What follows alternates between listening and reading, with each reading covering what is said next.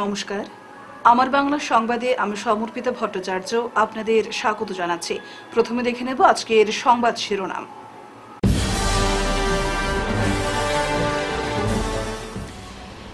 প্রেমিকাকে নিয়ে পালানোর সময় বাইক দুর্ঘটনা, মৃত্যু প্রেমিকের।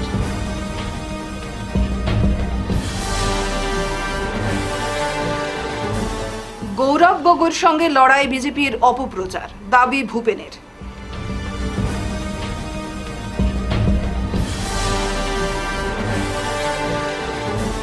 ধলাইয়ে প্রচারে আসছেন মুখ্যমন্ত্রী। প্রস্তুতি দেখলেন মন্ত্রী জয়ন্ত।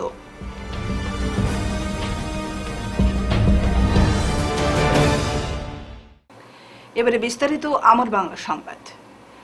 দ্বিতীয়বার প্রেমিকাকে নিয়ে পালাতে গিয়ে ভয়ঙ্কর দুর্ঘটনার শিকার হয়ে প্রাণ হারালেন এক প্রেমিক।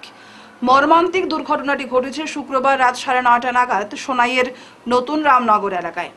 কাপ্তানপুর ষোলখণ্ডের সঞ্জিত কুমার রবিদাস নামে একুশ বছরের যুবক, অপ্রাপ্তবয়স্ক প্রেমিকাকে নিয়ে পালানোর সময় নতুন রামনগর সেতুর উপর দুর্ঘটনার কবলে পড়ে। তারা দুজন বাইকে ছিল। দুর্ঘটনায় ঘটনাস্থলেই মৃত্যু ঘটে সঞ্জিতের। কিশোরীও মারাত্মকভাবে আহত হয়। তাকে স্থানীয়রা উদ্ধার করে মেডিকেল কলেজ হাসপাতালে পাঠান।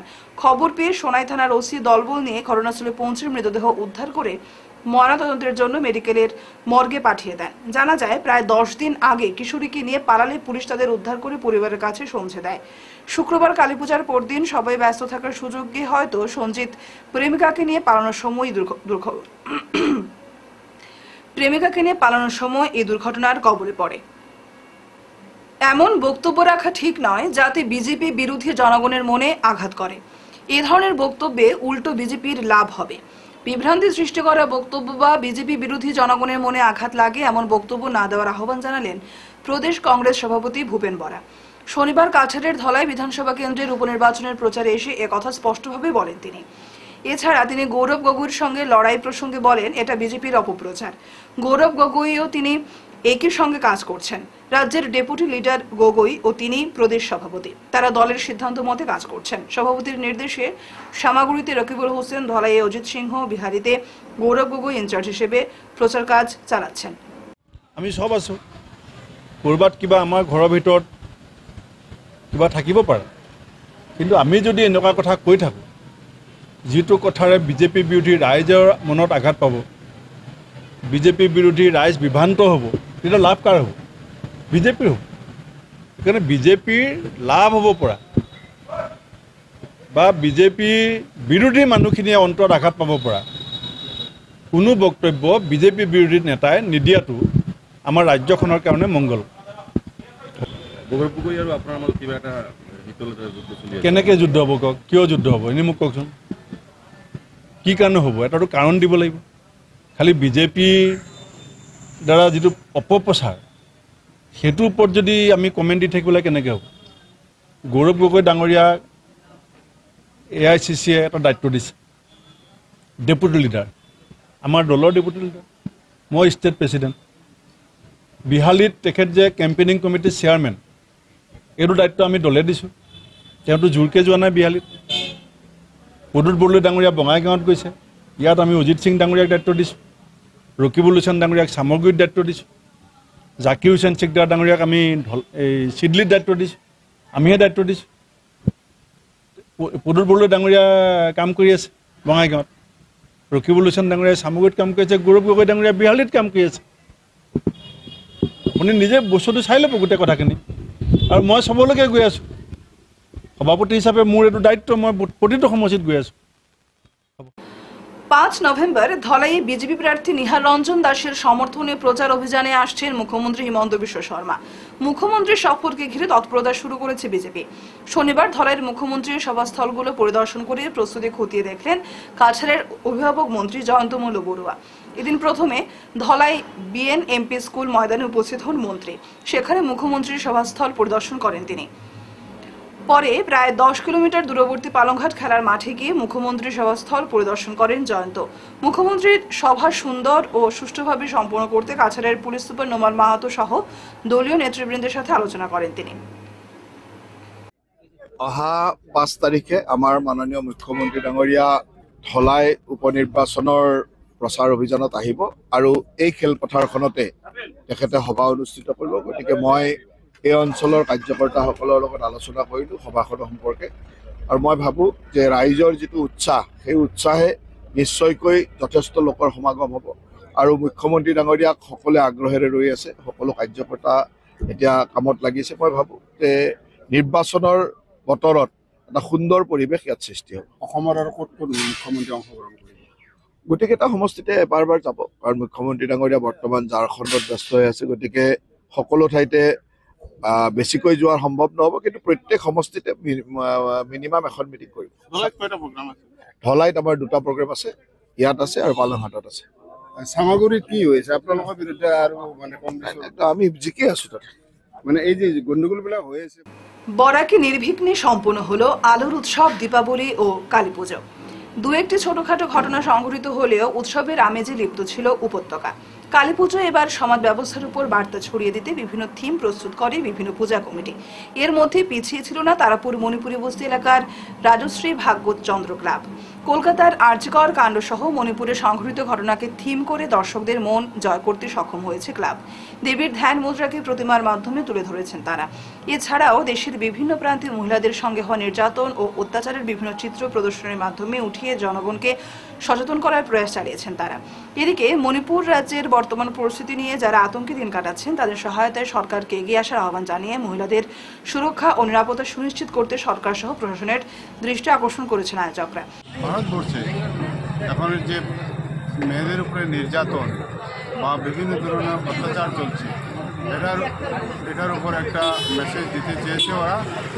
পাড়ার ছেলেরা সবাই মিলে এখানের মণ্ডপে যেগুলো ছবি দেওয়া হয়েছে বা মেসেজ দিতে চেষ্টা করেছে।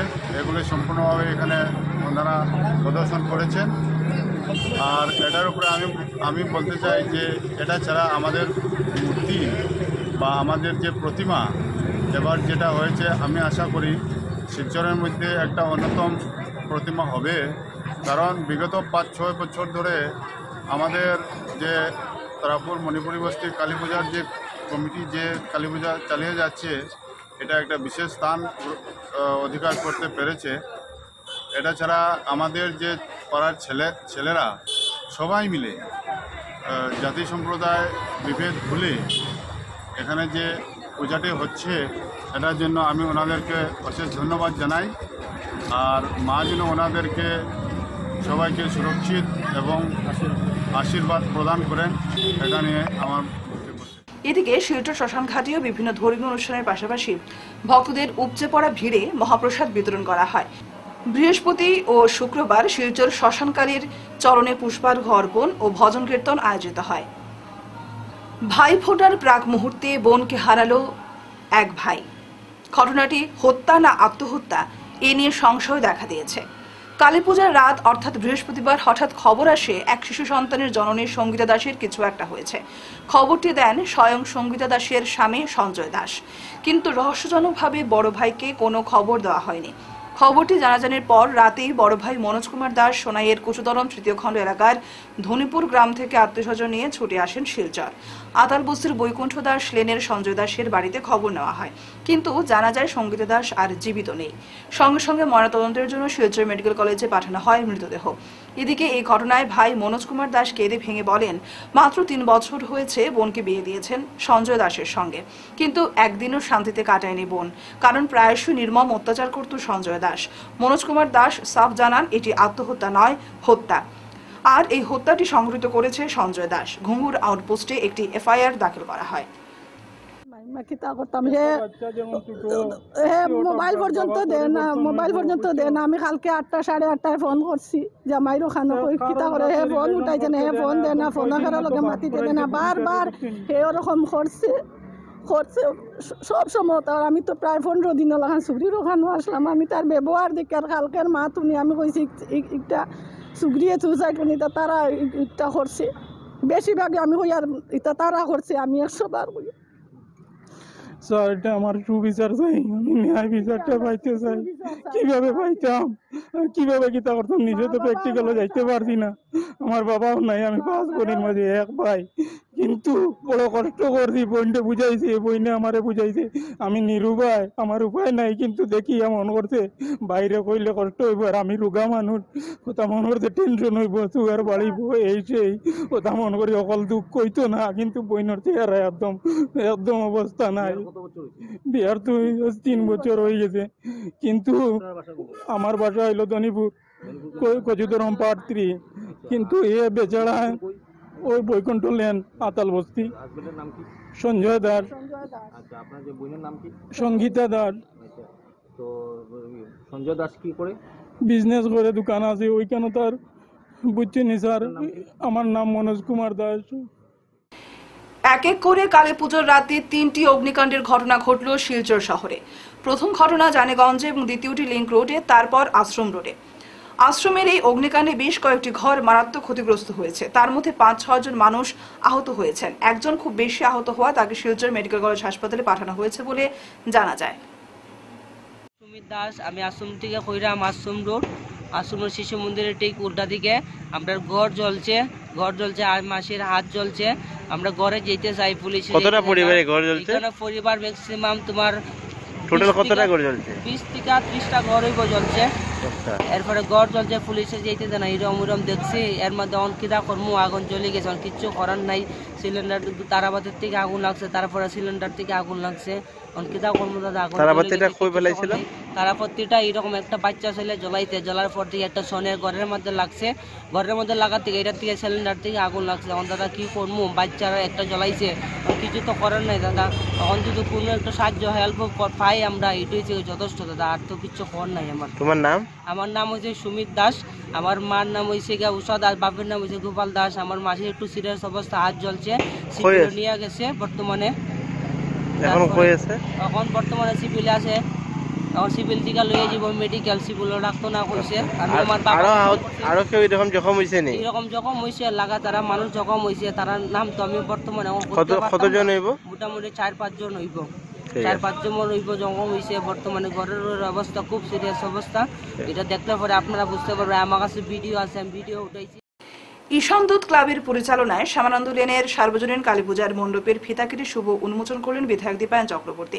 প্রতি বছরের ন্যায় এবারও শিলচরের শ্যামানন্দ লেনের ঈশান দুধ ক্লাবের পরিচালনায় সার্বজনীন কালী পূজা কমিটি বিভিন্ন চমক দিয়ে থাকেন মা কালীর পূজায়। ঈশান দুধ ক্লাবের সদস্যরা এই বছর নানান সাজে সাজিয়ে তুলেছেন পুজো মণ্ডপটি। কালী পূজার দর্শনার্থীদের দৃষ্টি আকর্ষণের উদ্দেশ্যে। বুধবার সন্ধ্যায় শ্যামানন্দ লেনের ঈশানদূত ক্লাবের পরিচালনায় সার্বজনীন কালীপূজা কমিটির ব্যবস্থাপনায় মণ্ডপ উন্মোচনকে কেন্দ্র করে এক আলোচনা সভার আয়োজন করা হয়। Shyamananda lane Kali committee Ishanduta club এই ঈশানদূত ক্লাব প্রতিনি- প্রতিনিয়ত প্রায় আট বছর থেকে আমরা দেখতে পাচ্ছি যে এখানে একটা নতুন নতুন পরিকল্পনা নিয়ে ওনারা প্যান্ডেল তৈরি করেন। আর শিলচর তথা কাছাড়ের বিভিন্ন দর্শনার্থীদের এখানে আকৃষ্ট করার ওনারা সুযোগ করে দেন। তো আজকের দিনে আমরা এই বাবাজির মাধ্যমে এই প্যান্ডেলটি উদ্বোধন হলো। এটা অসাধারণ প্যান্ডেল এখানে এসে দেখতে পেলাম। যে প্যান্ডেল আমি মনে করি যে আমরা যদি বলে দেই তাহলে একটা সারপ্রাইজ থাকা ভালো। তো আমি সবাইকে অনুরোধ রাখব কাছাড় জেলার অন্ততপক্ষে সবাইকে যারা আপনারা আসেন পুজো দেখতে এই শ্যামানন্দ লেন আহ, ঈশানদূত ক্লাবের পুজোটা দেখতে আসুন। আমি নিশ্চিতভাবে বলতে পারি যে আপনারা সবাই আপনাদের যারা কচিকা যারা শিশুরা রয়েছে, তারা খুব উপভোগ করবে এই পুজো। তাই সবাইকে আমি আমন্ত্রণ জানাচ্ছি। ঈশানদূত ক্লাবকে আমার আন্তরিক ধন্যবাদ জ্ঞাপন করছি যে এত সুন্দর একটি পুজো শিলচরের বুকে উপস্থাপন করার জন্য। হাইলাকান্দি রোডের ব্রাইট বয়েজ ক্লাবের সার্বজনীন কালী পূজাটির মণ্ডপের ফিতা কেটে শুভ উদ্বোধন করেন শিলচর সাংসদ পরিমল শুক্লবৈদ্য। এদিন ক্লাবের পক্ষ থেকে সাংসদ পরিমল শুক্লবৈদ্যকে উত্তরে পড়িয়ে হাতে স্মারক তুলে দিয়ে সম্মান জানানো হয়। আপনারা বন্ধুরা, আমরা করি কেন? আমরা করি এই জন্যে যে আধ্যাত্মিকতার ক্ষেত্রে যাতে সমাজ সত্যিকার অর্থে সঠিক দিশা পায় আর আমি বিশ্বাস করি, আমি মনে করি, আপনারা সচেতন নাগরিক আপনারা সমৃদ্ধ সামাজিকভাবে সংস্কারিত আপনারা। এই ক্ষেত্রে আপনাদের এই আয়োজনের মাধ্যমে আপনাদের আহ, এই প্রয়াসের মাধ্যমে সমাজ ও আধ্যাত্মিকতায় সমৃদ্ধ হবে সমাজের মধ্যে চেতনা আসবে চিন্তা আসবে আমরা আগামী দিনে মার কৃপা ধন্য হয় আমরা সমাজে বসবাস করব মার কাছে প্রার্থনা করতে এসেছি আপনারা যারা আছেন যারা চেষ্টা করেন আপনাদের এই চেষ্টাকে যাতে সবসময় সমাজের মানুষ যাতে আপনাদেরকে সহযোগিতা করে আর আপনাদের মাধ্যমে সমাজের প্রত্যেকের যাতে মঙ্গল হয়, তার জন্য কাছে প্রার্থনা করতে এসেছি। আমি পিতা পিতা কাছে আমি প্রথমে বলে দিয়েছি। শিলচর ঘুঙ্গুর কালীবাড়ি স্থাপিত মন্দিরে এবার কালী পূজায় ব্যতিক্রমী দৃশ্য দেখে আপনারাও চমকে যাবেন। এবার ঘুঙ্গুর কালী পূজা কমিটির ব্যবস্থাপনায় দেখানো হলো অতীতে যা ছিল পূর্বপুরুষেরা যুগে যুগে কি করে জীবনযাপন করেছিলেন সেই চিত্র। এই পুজোয় ভীষণভাবে সাহায্য করেছেন মুসলিম সম্প্রদায়ের শাহিন আহমেদ। মহিদুল ইসলাম ও মাসুক আহমেদকে অশেষ ধন্যবাদ জ্ঞাপন করলেন পূজা কমিটির কর্মকর্তারা। যেগুলো আমাদের আগের প্রথা ছিল যেগুলো হারিয়ে গিয়েছে, সেগুলোকে আমরা তুলে ধরার চেষ্টা করেছি। যেমন আমাদের কিচেন ঘর, যাকে পাকঘর বলে, এই পাকঘরে আমাদের আমাদের পূর্বজে যারা কি কি ভাবে ইউজ করতেন, আমরা যা খেয়ে বড় হয়েছি, আমাদের জন্মের পরের জন্ম যে, এগুলো তো বুঝবেই না, জানবেই না, কি দিয়ে বড় হয়েছে আমাদের বাবারা, কাকারা, জেঠুরা, সেগুলোকে আমরা তুলে ধরেছি এই ঘুঙ্গুর কালীবাড়ি একটা এক্সিবিশন এবং সবাই আসার জন্য। তৎসঙ্গে আমাদের ভারতবর্ষে সবচেয়ে খ্যাতনামা ব্যক্তি যিনি হচ্ছেন রতন টাটা। যিনি আমাদের ভারতবর্ষে মেডিকেল লাইন বলুন ইলেকট্রনিক্স লাইন বলুন, গাড়ির লাইন বলুন অটোমোবাইলস বলুন, সব দিক দিয়ে উনার হাত এবং উনার সাহায্য রয়েছে।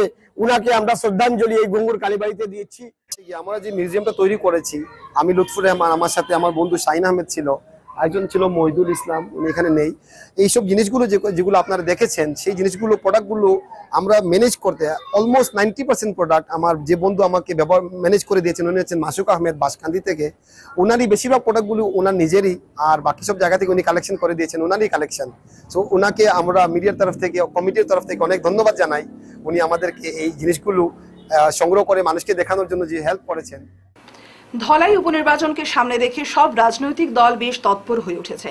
শাসক দল বিজেপির সঙ্গে পাল্লা দিয়ে বিরোধী দল কংগ্রেসও পিছিয়ে নেই। শুক্রবার ধলাই উপনির্বাচনে ভারতীয় জাতীয় কংগ্রেস মনোনীত প্রার্থী ধ্রুবজ্যোতি পুরকায়স্থের সমর্থনে বালংঘাট ব্লকের বিভিন্ন জিপিতে বেশ কয়েকটি নির্বাচনী সভা অনুষ্ঠিত হয়। এদিন সকাল এগারোটায় প্রথমে মোহনখাল, রামানিকপুর জিপির চেকারচা, মধুপুর সাড়ে বারোটায় রামানিকপুরে নির্বাচনী সভা অনুষ্ঠিত হয়। পরে এদিন পালংঘাট জিপির পুনিরখুক ও জামালপুরে নির্বাচনী সভা অনুষ্ঠিত হয়। শিক্ষা কোথা থেকে পেয়েছি। এখানে উনি বলেছেন যে এখানে বাংলাদেশ নাকি ওনাদের এনআরসিতে নাম নেই, কি নেই, এটা আমার বক্তব্য না। এবং আরও দুঃখজনক ঘটনা, চল্লিশ বছর যে বিধায়ক মন্ত্রী ছিলেন তিন তিনটা বিভাগে, একজন অভিভাবক মন্ত্রী এসে বলেছেন যে একটা ব্যক্তির বিরুদ্ধে এত খুব আমি আগে অনুমান করতে পারি আমার কথা নয়, জয়ন্ত মল্ল বড়ুয়ার মহাশয়ের কথা।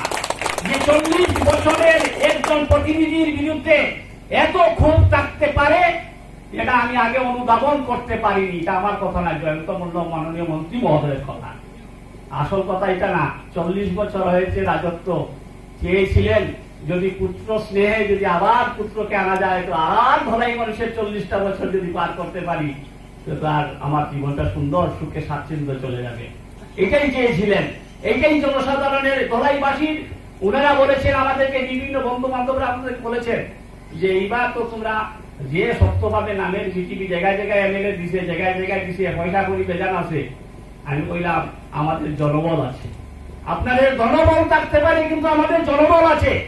মানুষ এই প্রত্যাখ্যান নীরব অপপ্রত্থানের জন্য অপেক্ষা করছে মানুষ। এটা মেনে নেবে না ধলাইবাসী জনসাধারণের। নিরপেক্ষ করে বিচার বিশ্লেষণ করে রাজনীতি করতে মানুষকে কেন্দ্রীয়কে ভোট নির্বাচিত করেছে বিগত দিন- যদি আপনি দেখেন, বিভিন্ন শেষ করার আগে বিশেষ বিশেষ আমার বাংলা খবর আরও একবার।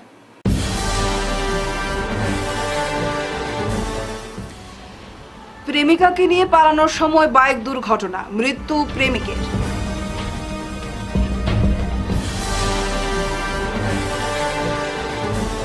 গৌরব গগৈর সঙ্গে লড়াই বিজেপির অপপ্রচার, দাবি ভূপেনের।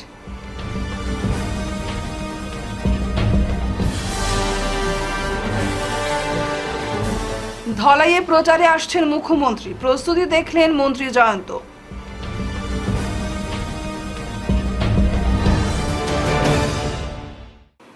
এখনকার মতো আমার বাংলা সংবাদ এ পর্যন্তই।